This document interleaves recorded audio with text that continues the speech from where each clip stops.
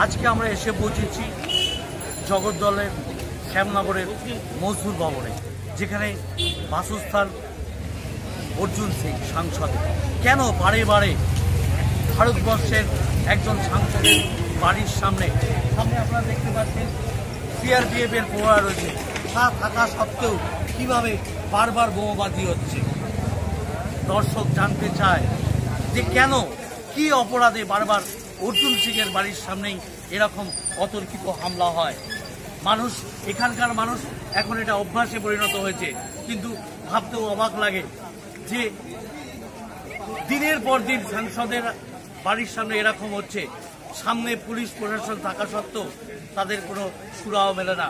এখানকার মানুষের এখন দিনের পর দিন এরকমই চলে আসছে। এই জন্যই তাদের সেটা মেনে নিয়েছে যে তারা এরকম হবেই, কিন্তু কোনো সুরাহ পাওয়া যাবে না। দর্শক, আপনাদের উদ্দেশ্যে বলছি, আমাদের বাংলার যে প্রশাসন এবং বাংলার মুখ্যমন্ত্রী মমতা ব্যানার্জি, উনি বলেন যে বাংলায় কোনো অশান্তি নেই, তাহলে এটা কি হচ্ছে? কোথায় যাচ্ছে? আমরা কি সুরাহ পাবে না? সাধারণ মানুষ এবং দর্শকদের সাধারণ উদ্দেশ্যে আমরা এটাই প্রশ্ন রাখি, যে এই সুরাহ কি মানুষ পাবে না?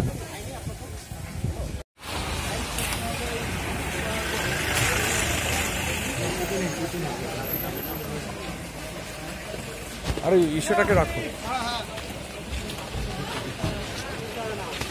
ফোনটাকে রাখো।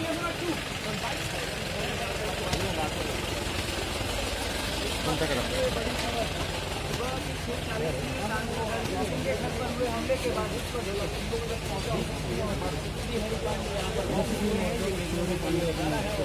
সকালবেলা যে ভোরবেলা যে সংসদের বাড়ির সামনে যে বোমাবাজির ঘটনা তদন্ত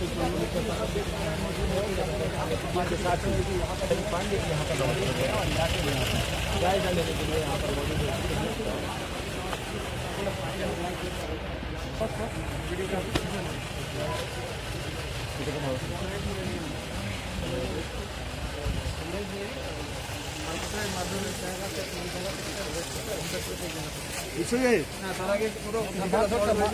বিশ্বজিৎ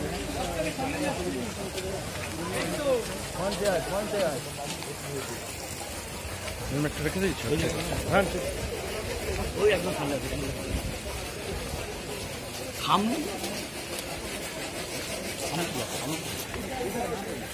সামনে आप देख पा रहे हो तमाम तस्वीर जहाँ पर ठीक वहीं पर मौजूद है जहाँ पर मारपीट की घटना हुई थी और उसके बाद बमबारी की घटना जो हुई थी सीधी सीधी तस्वीर आप लाइव देख पा रहे हैं ठीक इसी इलाके के निरीक्षण कर रहे हैं वो और देख रहे हैं तदंत गंभीर का आखिर इस इलाके में हुआ कैसा जहाँ पर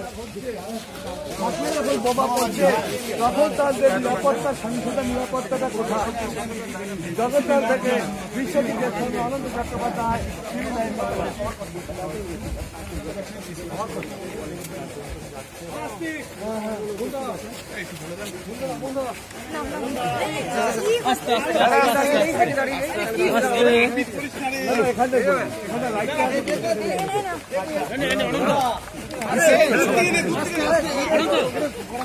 आम्ही पूर्ण काबून আরে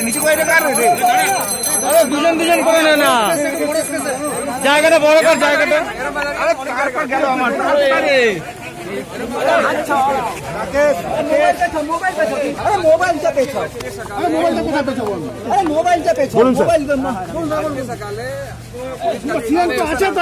আরে মোবাইল আরে আসতে বলুন স্যার বলুন। আরে মোবাইল নামাও না মোবাইল নামাতে দে না আরে মোবাইল হ্যাঁ বাস বাস মোবাইল। দেখ তোরা কি রে আজকে সকালে সাড়ে ছটা নাগাদ যেটা আমরা পুলিশ খবর পেয়েছে পরে সাড়ে ছটা নাগাদ এখানে মজদুর তিনটা বোমা হাল করা হয়েছে বোমা ফেলা হয়েছে।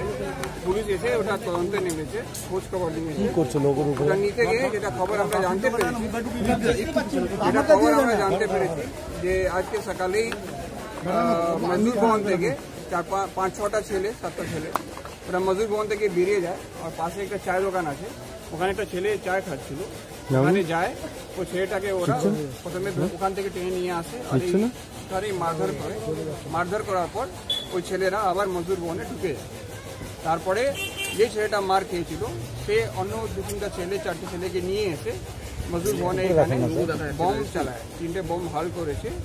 যে ছেলেরা বম চালিয়েছে ওখান থেকে দুজনকে ডিটেন করা হয়েছে আর পুলিশ ফার্দার ইনভেস্টিগেশনটা করছে। মজদুর ভবন থেকে এসেছিল তার প্রমাণ কীভাবে পাওয়া গেল? গ্রেপ্তার করা হয়নি এই বিষয়ে কি বলবেন?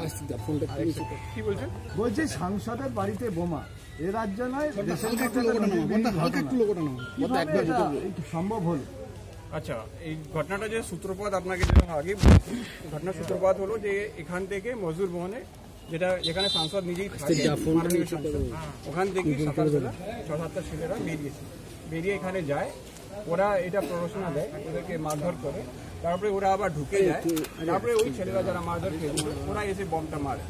ওইটা ফার্দার ওনার দেখুন ওনার বাড়িতে বোমা মানে আপনি যেটা প্রশ্ন জিজ্ঞাসা করছেন ডেফিনেটলি ওনার সেফটি সিকিউরিটি একটা ব্যাপার আছে সেটা আমরা খুব ভালো করে দেখব। যে ভাই সিআইএসএফ সিকিউরিটি আছে ওখানে। তার সত্ত্বেও ওখানে কি করে যে দুষ্কৃতীরা বাইরে যারা অ্যাকশন করে বাইরে ভিতরে চলে গেল আবার তার রিটালিয়েশনে এটা হলো। ওটা কীভাবে হচ্ছে যেখানে ওনারা সিআইএসএফ সিকিউরিটি দিয়ে ওনারাকে গার্ড করা হয় স্যার কালকে গণেশ পুজো। গণেশ পুজো নিয়ে এই সব আর গণেশ পুজো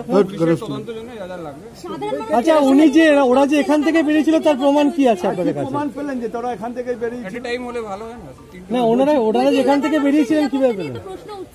আমরা যত সময়ে এরকম কোনো ইনসিডেন্ট হয়ে থাকে প্রতিটা আমিও তো দেখতে পাচ্ছি অ্যারেস্ট হয়েছে এটা আমাদের রেকর্ডে আছে। ওটা নিয়ে আমরা ফার্দার কোনো কমপ্লেন আমরা ফার্দার করতে থাকব আরে ওরা যে এখান থেকেই বেরিয়েছিল সেটা আপনারা কি করে প্রমাণ পাচ্ছেন? ওটা আমাদের কাছে সাফিসিয়েন্ট এভিডেন্স আছে। এটা সিসিটিভি ফুটেজ আছে অন্যান্য এভিডেন্সও আছে। এটা ওখান থেকে আমরা কনফার্ম করতে পারি মজদুর ভবন ভেতরেই ছিল? হ্যাঁ মজুর বনের ভেতরে ছিল। ওখান থেকে বেরিয়েছে।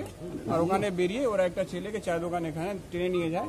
বাইরে এখানে মারধর করে আবার মজুর বনে ঢুকে যায়। কেন মারধর করেছিল কেন? ঘটনাটা সূত্র হ্যাঁ, ওদের মধ্যে পুরনো একটা পুরনো পার্সোনাল গ্রাজ আছে দুটো গ্রুপ মধ্যে। সেটা নিয়ে ওরা কি দিয়ে কিসের group? দুটো মানে ক্রিমিনালদেরই দুটো group? ডেফিনেটলি ওদের কোনো ক্রিমিনাল রেকর্ড আছে। দাদা? কোনো ক্রিমিনাল রেকর্ড আছে? এই বাচ্চাটা ক্রিমিনাল রেকর্ড আছে কিনা ওটা আমাকে দেখতে পাচ্ছি না সেটা দেখতে হবে বাট বাচ্চাটাকে মেরেছে সেটা ফ্যাক্ট বোমটা কি বোমটা করা মারলো তাহলে? যে বাচ্চা মার খেয়েছে সেই গিয়ে আবার নিজের গ্রুপকে নিয়ে এলো ওরা বম চাচ্ছে তাহলে বাচ্চাটা কি তাহলে অভিযুক্ত এর মধ্যে? ওটা আমরা ইনভেস্টিগেশনে দেখব। এখানে ডিটেইন করে সিআইএসএফ এখানে পাহারায় রয়েছে ক্যাম্প রয়েছে তাদের সামনে বোমাবাজি। আপনারা কি সিআইএসএফ এর সাথে কথা বলবেন যে তারা কি করছিল? ডেফিনেটলি ইনভেস্টিগেশন স্বার্থে যা যা জিনিস হবে সবই করবে। সিআইএসএফ এর রোল কি খতিয়ে দেখা হবে? ইনভেস্টিগেশন স্বার্থে যা যা দরকার আছে ওনার আমি স্পেসিফিক কিছু বলব না বাট ইনভেস্টিগেশন স্বার্থে যা যা দরকার আছে সবই করবে। পুলিশ কি কোনো স্লো মোটা মামলা রুজু করবে? আমরা কমপ্লেনে অপেক্ষা করছি। Complaint দিয়েছেন? কমপ্লেন আমরা পেয়ে গেলে কেস স্টার্ট করব না পেলে পুলিশ স্টার্ট করবে। বিধায়ক অলরেডি কমপ্লেন দিয়েছে। আপনারা তারপরে কি সুয়ামোটো করবেন? কমপ্লেন আমরা পেয়ে গেছি। কেন আমরা বলছি যে মানুষ না না হয়ে দেখছ একটা মার্ডারও হয়ে গেছে এই দুশো কাজের মধ্যে। এখানে ঘটনাটা কীভাবে করবে? এই দেখুন আপনি যেটা বলছেন যে ভাই এখানে বোমা পড়েছে। বোমা যেখানে যেখানে পড়েছে পুলিশের কাজ আছে প্রিভেন্টিভ আর and, তারপরে অ্যাকশন প্রিভেন্টিভ অ্যাকশন আমরা অনেকগুলো রেট রেড চালাই। মানে বোমা উদ্ধার উদ্ধারও করা হয়। নর্মাল যে স্পেশাল রেটগুলো হয়। বাট এটা ডিটেকটিভ ম্যাটার আছে যেহেতু বম্বিংয়ের কেস হচ্ছে প্রতিটা কেসে অ্যারেস্টও হয়েছে আমাদের সিজারও আছে পুলিশের যে নিজে অ্যাকশন আছে ওটা কতজন অ্যাকিউজড আছে এই মামলায়? কতজন অ্যাকিউজড এত যখন অ্যারেস্ট হচ্ছে তো দৌড়াত্ম কমছে না কেন দুষ্কৃতি দৌড়াত তো কমছে না এটা বলছি। দৌড়াত তো কমছে না এটা বলব না। আমি যখন দেখবি দেখবেন। কেসের নম্বর দেখবেন কেসে এফআইআর দেখবেন। উনিশ সালে কত কেস ছিল কুড়ি সালে কত ছিল এটা কম্পারেটিভ স্ট্যাটিস্টিক্সের ব্যাপার আছে। এটাকে বেগলি এমনি বলা যাবে না কি এটা কমেছে বা বেড়েছে এটসেট্রা এটসেট্রা এটা যতক্ষণ আমি স্টাডি করবেন না ততক্ষণ বলতে পারবেন তাহলে বাচ্চা বাচ্চা ঝামেলা কতজনের নামে অ্যাকিউজ কতজনের নামে মানে কমপ্লেন রয়েছে? কমপ্লেন্ট আমরা পেয়েছি। এখন গিয়ে দেখি থানায়। আপনারা যারা যাদেরকে ডিটেন করেছেন যাদেরকে ডিটেন তাদের রোলটা কি ছিল? তাদের রোল প্রাইমারিলি পাওয়া গেছে। ফার্দার আমরা ডিটেলস সিসিটিভি ফুটেজে কি তাদের দেখা গেছে? হ্যাঁ দেখা গেছে বাট আমরা ফার্দার স্টাডি করব কি ওরা কি জন্য ওখানে তারা ছিল, কি কি বোমা করছিল। মেরেছিল না ওই কিশোরকে আমরা মারধর ওদের করেছিল? ইনভেস্টিগেশনের ম্যাটার এখন বলতে হবে